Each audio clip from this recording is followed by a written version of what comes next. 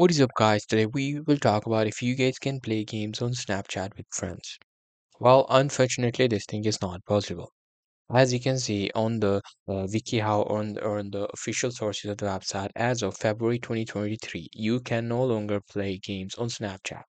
Their features allowed users to play, access, and play a variety of games with the friends chat.